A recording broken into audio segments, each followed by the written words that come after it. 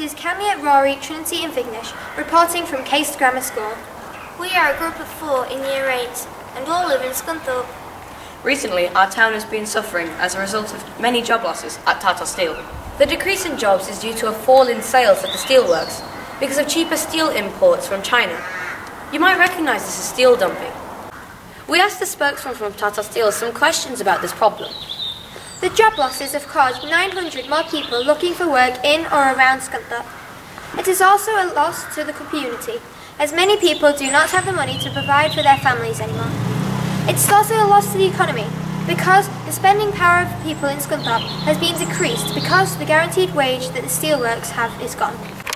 However, Tata Steel is doing whatever they can to make sure that the people who have lost their jobs do not suffer. For example, they are setting up resource centres in Scunthorpe to provide people with advice of how to solve their financial problems. In the resource centres, they are inviting businesses which need workers and offering jobs. Tata Steel is considering selling the company to Greybull. They want the best for the standalone company, meaning that they need to find a company which is interested in investing in this. Tata Steel think that Greybull will be the ideal company to invest in, Scun- in the Scunthorpe Steelworks because it has successfully invested in another company called Monarch Airlines. The jobs need to be cut because Tata Steel is looking for future sustainability of the steelworks. They are very sorry for doing this, however.